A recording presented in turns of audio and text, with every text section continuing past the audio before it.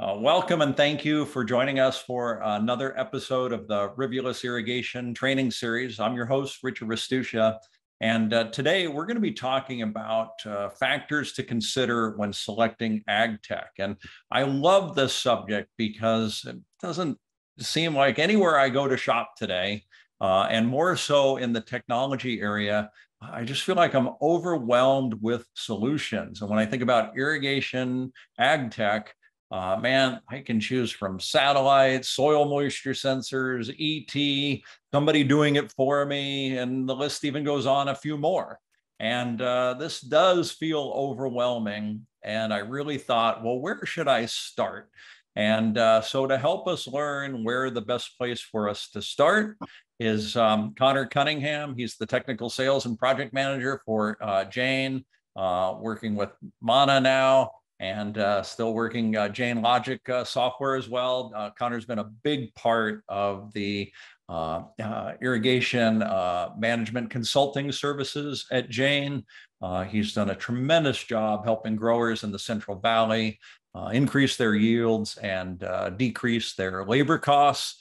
He's a graduate of Fresno State. Uh, he's been involved, uh, he's very young, but he's been involved in ag tech since he graduated.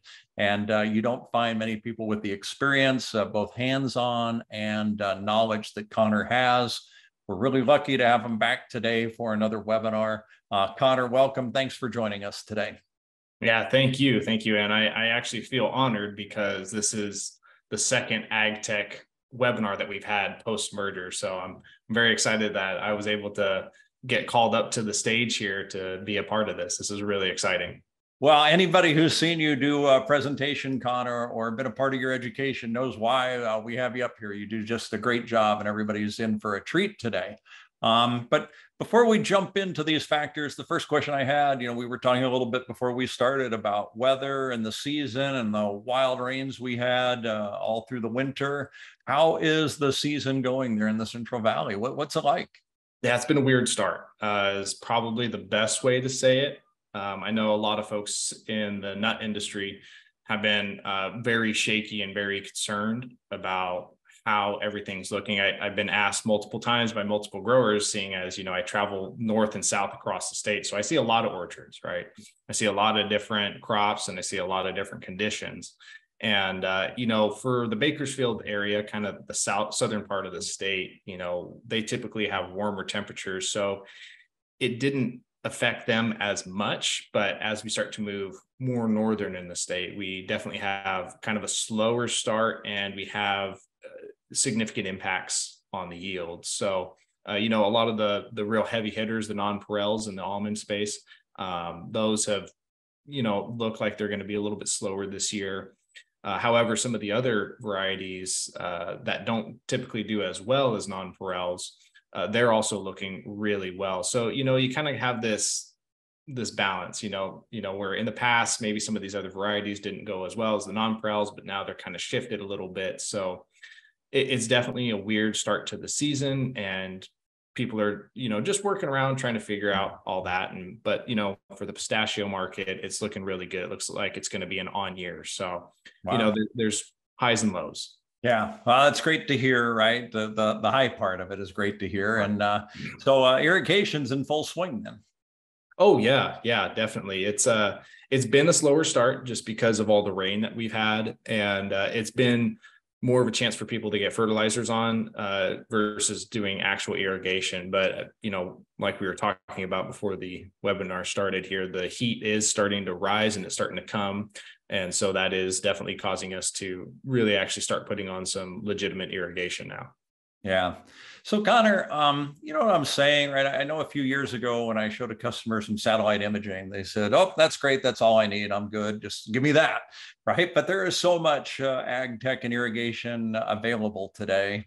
Um, but it does, it can feel a little overwhelming. Uh, do, do, do, you understand where I'm coming from when I when I say that? Hundred percent. I'm even overwhelmed by it, if I'm being honest. there is so so much out there. There's there's so many options. There's so many providers, so many different ways of going about utilizing the tools that we have to accomplish some sometimes to accomplish the same goal you know sometimes you're you're looking at a challenge and you know one provider saying hey we can come at it from this way and then you know other providers are saying hey we can come at it from this way so it can be it can be a little much uh, especially yeah. if you're, you're not familiar with it if, this is your first introduction to starting to look at some of these tools that are available to us today yeah. So, um, where do I start? How do I uh, how do I start evaluating what uh, how do how do I learn what's out there? How do I evaluate what's right for me and and uh, my farm or my ranch? I mean, what how do we put all this together? Yeah, that is a great question, and that is legitimately where some people start. So, you know, let's go ahead and click over to the next slide here, and that will be uh, part of what we're talking about here. There we go. All right, I had to wake it up a little bit. but yeah, so that is definitely a question that some people have. I I talk to a lot of farmers, as you can imagine, and you know when I start to have this conversation with people, I'll say, well, hey, you know, what what are you looking to do? What where can I be of value to you? And a lot of people will say, well, you know what, my neighbor down the road, he does this, or you know what, I just got some money from NRCS, and so I need to make sure that I'm compliant with that. And so they kind of start off by getting their feet wet with it, ag tech like that, right?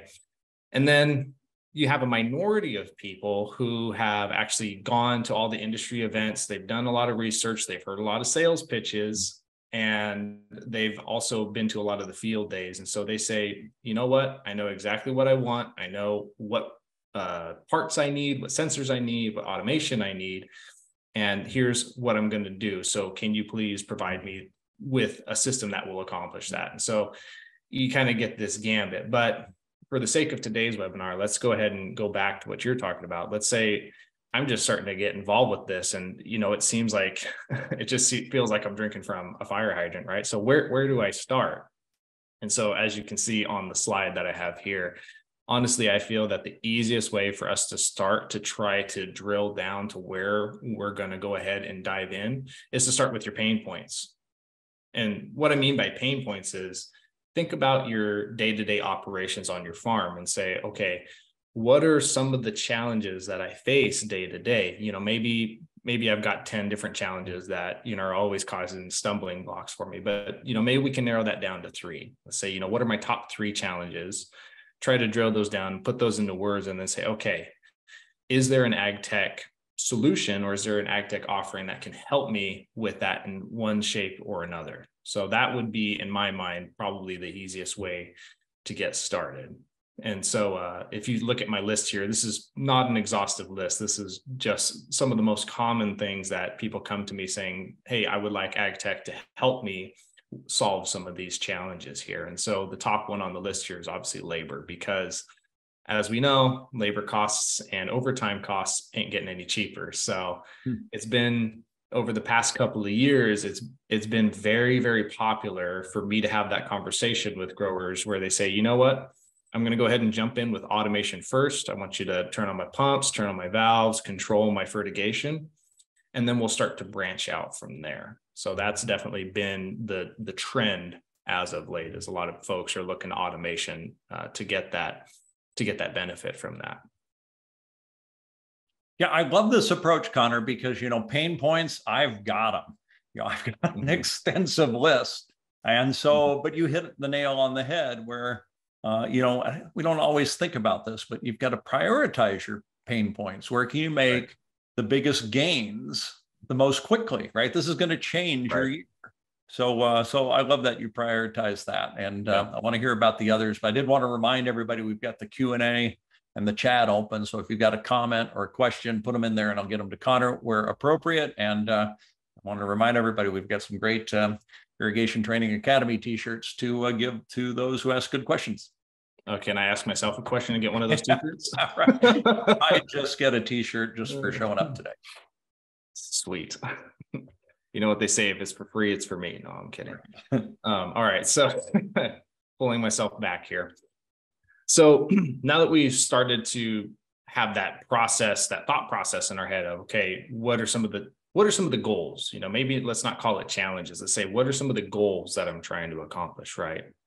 Now that i've started to formulate that and manifest that in my mind now I can start to have more of a brass tacks conversation to say, okay, now that I have these goals or these challenges identified, where is a good jumping off point for me? And so what I did was um, I actually recreated a diagram that the CEO uh, of the high tech division, uh, Havav, created. So I, I really like this diagram. I thought that it painted the picture beautifully. Uh, so I wanted to share it with everybody today. And so if you're at home listening after the fact on the podcast format, I'll explain what we're looking at here. You know, we got a series of half circles and they're all nested one within the next. And what this is trying to represent is that depending on where you decide to dive in at, what level of um, commitment that you're trying to make to working with ag tech, there might already be a foundation layer built into that somewhere else. So let's think about the NRCS example that I talked about in the first slide. So if we say, okay, I've gotten some free money from the government, which who wouldn't want that? And I need to make sure that I'm compliant with that. Well, typically with the NRCS, we're going to want to make sure that we have a soil moisture probe and a pressure sensor showing how we're being very efficient with our irrigation application. So right away, that's going to go ahead and move us up into this, what I would call the second tier right here that I have labeled monitoring. And if you notice within this diagram, within the monitoring circle, we already have the satellite offering built into that already. So you can already see that, hey, I am going to get the benefits of getting access to this funding. I'm going to get the benefits of having access to this real-time data but built within that too, I'm also going to get the added benefit of having access to the satellite data as well. So now you can start to see how, depending on what you're trying to do, you can really start to pick and choose. You know, when I talk to people, I'll, I'll often equate this to adult Legos. I say, hey, this is like adult Legos. You, you pick and you choose what you like to build what you need. And then that way you're ready to rock and roll um, one of the things that we talk about internally is we say the one thing that is consistent in agriculture is that everybody's different. everybody's situation is unique, everybody's different. And so I think it's really important that as people are starting to research and as start, people are starting to think about this, you really want to think about who you're partnering with to be your ag tech provider. You know, you want you don't want to necessarily partner with somebody that says, "Yeah, I can get you all these all these uh, data sources that you're interested in to help you with some of these efficiencies. But at the same time, I want you to buy this really expensive mating disruption service as well. So, you know, with Rivulis, we're we're more of like that one-stop shop. We've always been that one-stop shop, whether it's the ag tech or it's the drip hose. You know, you can pick and choose to make sure that you pull together all the tools and the resources necessary to make sure that you're going to accomplish those goals that you set out for yourself. Yeah, excellent. I, I love this slide, um, and I want to describe it a little for those that are listening. But I also have a couple of questions that have come in. Um, and so this first question is from, from somebody, and they're asking, uh, satellite seems to be the place to start. Then, right? This is uh, uh, this is would be the basic, right? So right. one, I think uh, there's many places that get satellite. Why satellite with us? Right. That's I, I like that. It's it's a multi-part question, and I, I think that's a really good question because I agree. That's that's why I I created the diagram the way that I did. I wanted to specifically call that out because with satellite, you're getting data. You're getting data from your field specifically, but there's no hardware in the field. You don't have to necessarily be concerned with, well, is is my equipment going to be safe from tractor blight? Which no equipment safe from tractor blight. We'll hit on that in a little bit, but it's it's definitely a great way that it you're not necessarily committed to um, having that hardware in the field and some of the additional costs that come with that. So it's it really is it's a great introductory place to start. Yeah, and so then somebody else is asking, is it expensive? Oh no, no. That's again, that's also why I put it at the bottom because that's why I say it's a great starting point because it's it's very low risk also from an investment standpoint. You know, you're only four dollars an acre for the satellite service, and that's giving you ET information, telling you directly how much water is being pulled from your field specifically. And then it's also giving you information on your vigor, your crop's response, letting you know, hey, how is my crop responding when I'm applying my irrigation, when I'm applying my amendments and then making my injections? How is it responding? And then how is it changing over time? That's something that really makes us unique as we showcase how that vigor is changing over time in a really easy to understand format. Yeah. So, Connor, am I correct in my thinking? You just said $4 an acre. I think that for a lot of the permanent crops, these growers might have tens of thousands of dollars in the field. Right. And so for $4, I've got a really inexpensive insurance policy if that's all I wanted to look at it as. Right, right, exactly. And kind of going back to the NRCS example. So let's say you did put one of those probe sites out and, you know, let's say we have 100 acres. We put a probe site out and it's fairly uniform soil. This does happen here in the Central Valley. We put that in a good spot. We're tracking our soil moisture, we're tracking our pressure, so we're cataloging our irrigation events. But then the satellite will then read the entire rest. So it's not just a single point that's being monitored. You're now coupling that with actually looking at the entirety of the field. It's it's a really powerful combination. Okay, and you just answered the next question because that was uh, somebody was asking, well, if I have the satellite, do I really need the monitoring? How do they work together? Yeah, so they they do. In my opinion, I I would prefer that if you know if you have the satellite, I would like you to also use a probe because I think that they work hand in hand really well. But you can just start with the satellite and have the satellite just by itself, and you can get a lot of really good information from that. You can tell the difference between the trees. I've I've seen it before. I've seen growers that are irrigating two fields that are neighboring that are different varietals, different ages, irrigating them the same, and the satellite showed a slight difference in the two and it illuminated that they were over irrigating. They were able to change that really quick and bring that vigor back up and then also you know keep from getting anaerobic conditions out in the field and then also not stress out their crop by being overwatered and then help us out here connor. Explain what you mean by automation too right? What does that mean right? Because i'm going to have the satellite i've got the monitoring i know what's right. going on in my field but where, how does the automation enter? Right so you know with with you know kind of your i would say your quote unquote standard your baseline automation typically most people are automating pump and maybe a couple of valves out in the field. And so with that you have access to some monitoring because right out the gate we automatically throw some pressure sensors and a flow meter cable on there as well. So you're tracking your water consumption and you're also tracking the efficiency of your system as well making sure that it's running at peak performance as well.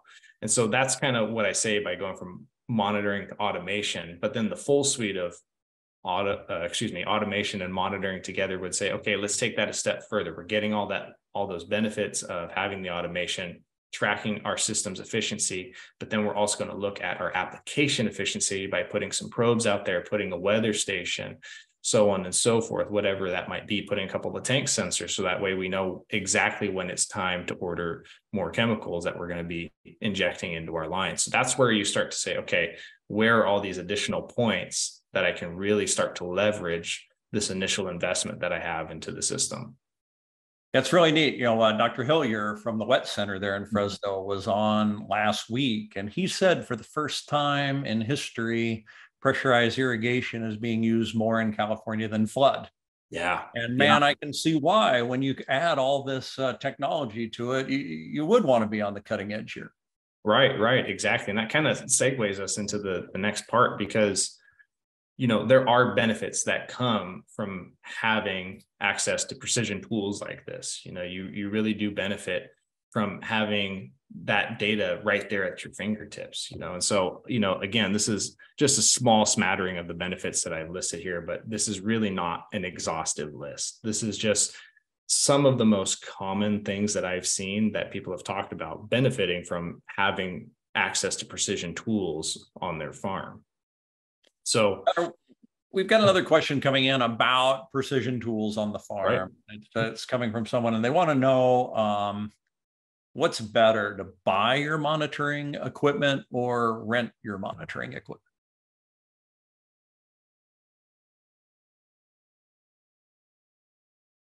So, oh no, I think uh, Connor may have frozen up. Let's give him a second to come back and uh, certainly hear me. Yeah, you're back. Okay. Okay. All right. Good. Good. Oh, a little hiccup there, but okay. Yeah.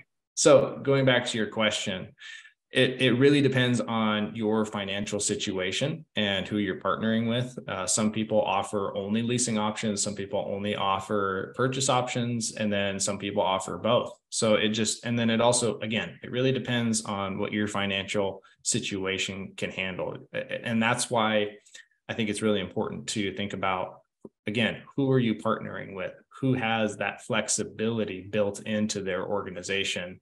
that's going to help you with you and your unique situation and your unique goals. Yeah. So help us out here. Uh, I know there's a ballpark of numbers here, but right. a soil probe, I mean, we're talking the same price as a tractor.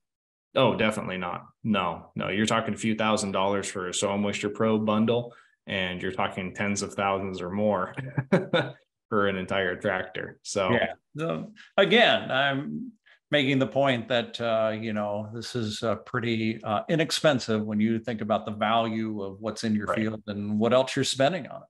Right, right, and you know one of the benefits that I have listed here at the bottom is connected to net uh, to a network of irrigation professionals. I think you know Rivulis we have an entire network built in you know between those of us internally at Rivulis and then those of us with our dealer network Avid Water. We have a bunch of very talented individuals that have really extensive knowledge of irrigation and agriculture. So again, I think that's a benefit. You know, should you choose to partner with somebody like Rivulis, that would be a benefit that's very specific to Rivulis, saying, "Hey, if you work with us, some of these other additional issues that you might have that might be outside the reach of AgTech or might be outside the reach of you know changing out your valves out in the field, you can bring all that together and and be able to really uh, gain access to that value right there."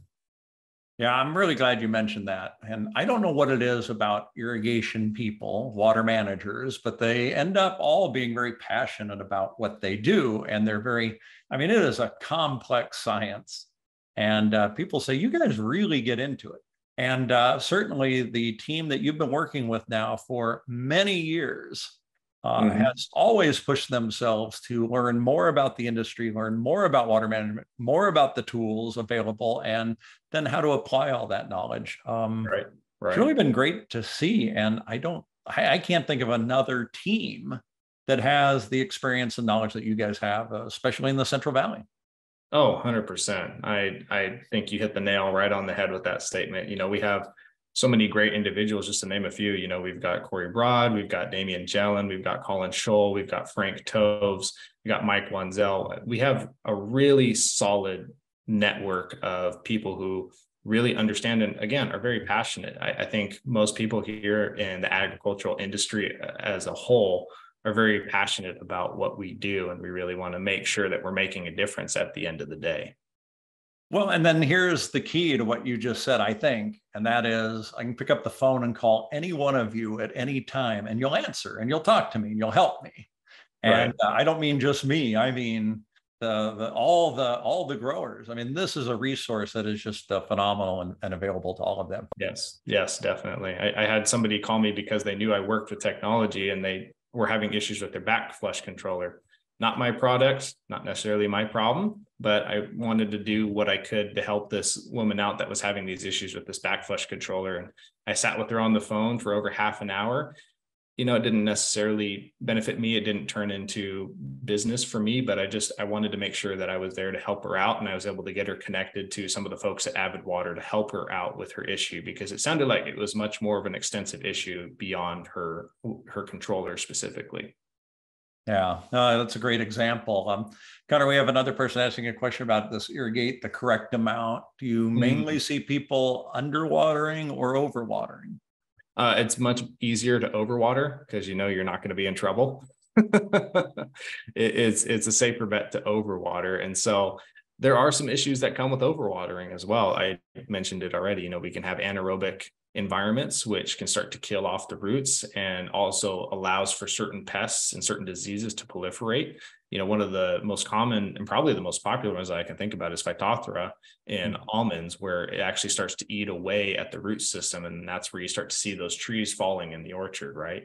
And that's because it's just, it's too wet. And, uh, you know, sometimes that's just because we have a really wet storm come through, but it also can be because we're irrigating too much too soon as well. So irrigating to the correct amount I think is much more important. And you know, the point that I also wanted to drive home here, when I was reading the promo that you wrote up for this webinar leading up, I had to chuckle to myself a little bit, you know, because everybody in the past, the the cliche in the ag tech industry is, oh, I'm going to save you 20, I'm going to save you 30% on your irrigation this year. And it's well, you know, we're now we now understand that yeah, that's not necessarily what we want to do all the time.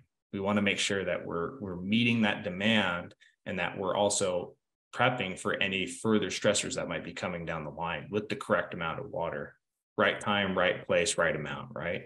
Right. So then do you ever experience somebody who's underwatering? Yes, I do experience that. And it's for, you know, a myriad of reasons. Sometimes it's because they don't that their system, their actual irrigation system is underperforming where they thought, well, if I put on 40 hours this week, I should be putting down enough water to get down to the depth that I'm looking to get, or I'm supposed to be putting on an inch by putting on X number of hours, right? But what they don't understand because they didn't have access to this information before was this the data coming from these precision tools starts to illuminate that hey you're actually underperforming. And when you thought you were putting on an inch you're actually only putting on half an inch because your systems overworking to try to overcome some of these inefficiencies that can really be corrected with some very small adjustments. You know it's you know changing out some leaky filters. It's going through and changing some leaks in the fields. Sometimes it's just really simple um, changes like that can, that can really make a big impact but sometimes you can't necessarily see it until you have access to that real-time data sometimes we we really start to have those issues uh, brought to light. You know, a quick story: I work with a grower up in Madera. He's an automation user of ours, and you know, talking about you know built-in tiers. Because he had the automation, he, we also put the pressure sensors on the filter station pre and post tank. And so typically, he, for the way his system was designed, he was supposed to be seeing anywhere from 30 to 35 psi across his tanks when he's running when he started running, he saw that he was only getting 19 psi. Thought it was just a fluke the first time. The second time he started irrigating, saw that he was only getting 19 psi again. Well, that's when he decided to call me. And I looked through the data, I looked through the connection history to make sure that the site wasn't falling offline. Everything looked perfect. I didn't see anything wrong with the data, but I decided to commit to go out there and, and look for myself because he lived far enough away. That's why he had the automation. I went out there while the system was running.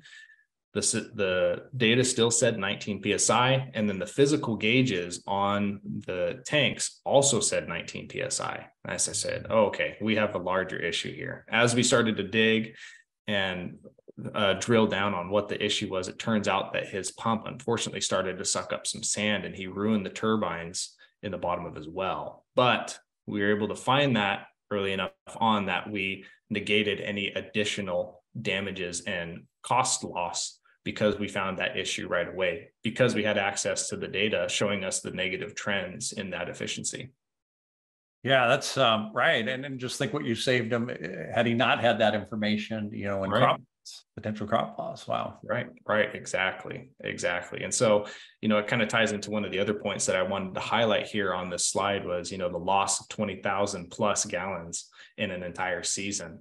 I sat in on some uh, Almond Board of California presentations last year, and Tom Duvall was the one that gave the presentation. So, Tom, I don't know if you're on or if you're listening now or in the future, but just want to say you did a great job, full of great information.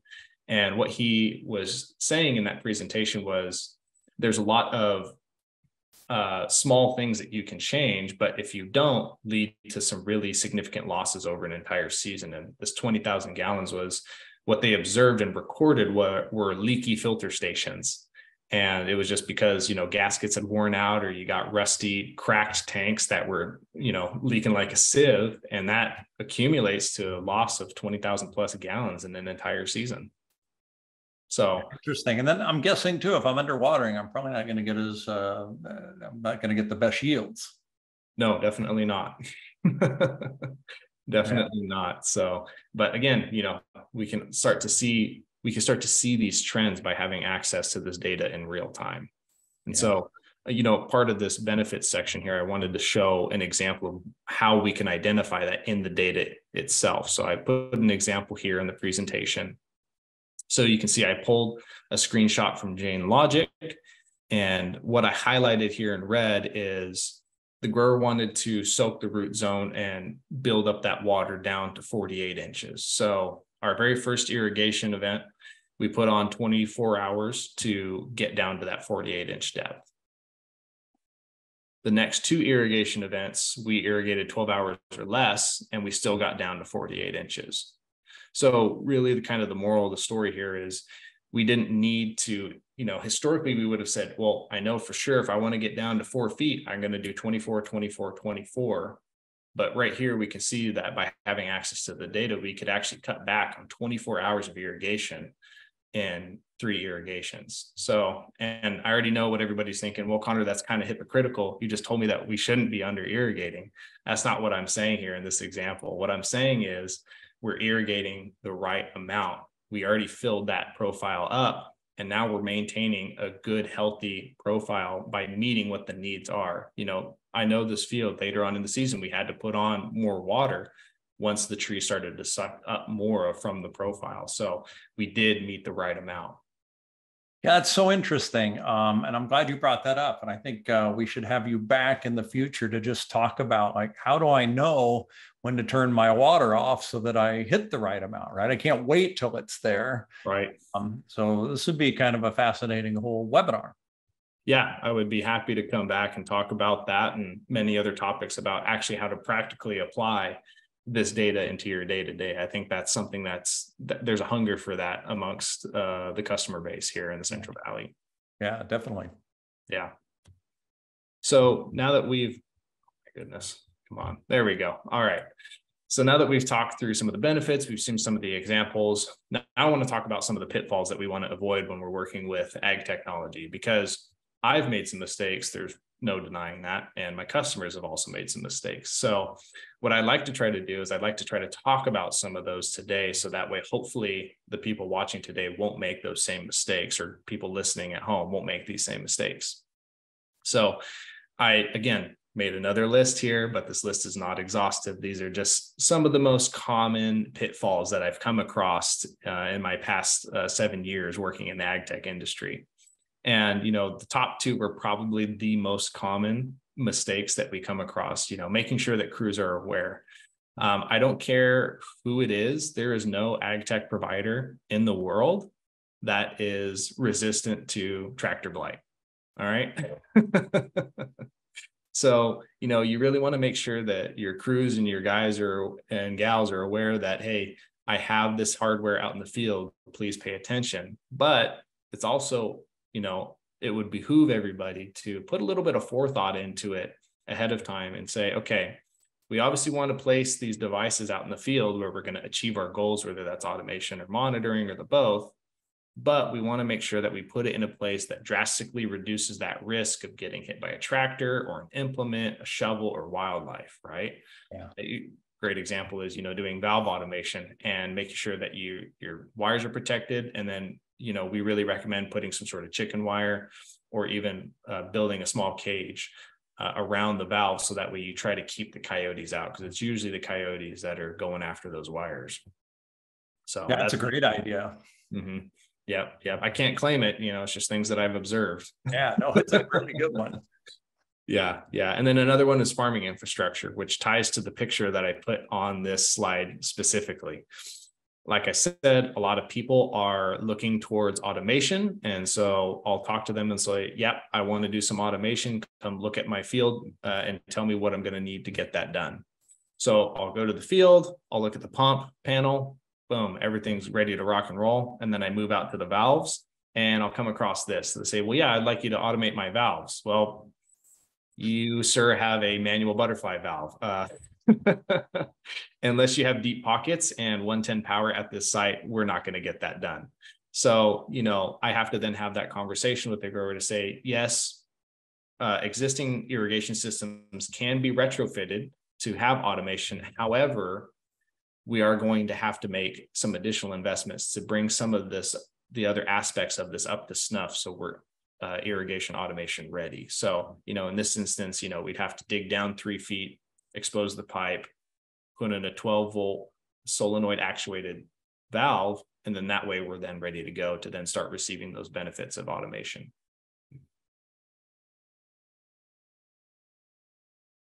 So, you know, that's just something, you know, just to be aware of that, you know, sometimes there's some hiccups along the way when you're getting started. Don't be surprised. It's, it's actually, you know, it is common that there are some growing pains that come with getting started, but, you know, we can work around them. Again, working with somebody like Rivulis, we have years of experience dealing with some of these issues and we know how to negate them and work around them very quickly when they do arise or to even avoid them in the first place. So and just to clarify, uh, Connor, if I ask you to come out and you discover, gee, um, it's a manual valve, this is going to be hard to automate. This is uh, just part of the service you provide, right? You help uh, survey the situation and and and give proper advice based on the equipment they have.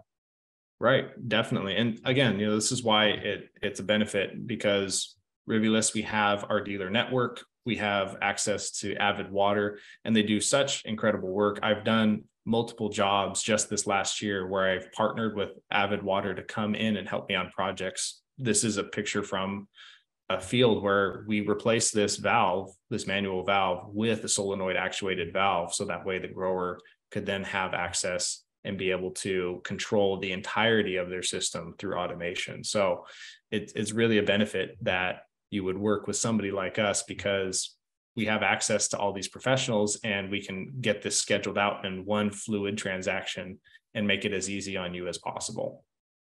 Yeah, and then I see one of the pitfalls to avoid is uh, pressure accurate across the field. Is do some testing on the system before. What what happens here?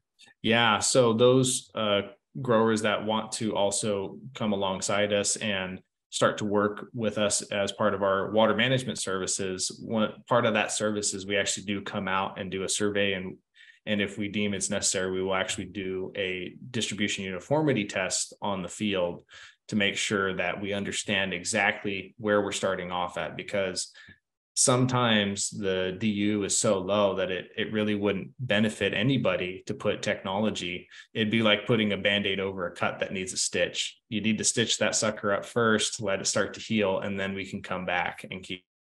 So, you know, it it you definitely want to make sure that everything is operating so that way you can get the full benefit tools that you've invested in. Yeah, so it's nice to know these tests are available as yes. well as the mm-hmm. help available Yep, yep. And like I said, we have a, a, number of talented individuals within our network that are ready to and eager and happy to help. Yeah. Yeah. So with that, that kind of brings me towards the close here. So just wanted to say thank you for having me. Uh, put my contact information here on the screen. And, you know, if there's any additional questions here, I'd be happy to, to answer anything right now. Yeah, and I really want to encourage people to take advantage of uh, reaching out to Connor, either email or cell phone. He will answer your call. He'll respond to your emails. He's excellent at that, and he really wants to help. So uh, this is one of those uh, few times where you have accessibility to an expert uh, that's going to help you and not charge you. So it's, it's really a nice opportunity. So Connor, as usual, you did a fabulous job uh, giving us this information. I know I feel more comfortable uh, about looking at any uh, ag tech irrigation or any ag tech. Uh, similar process, right? That I would go through uh, for any any technology I was buying. So thank you. This was wonderful. Laid it out for us very well.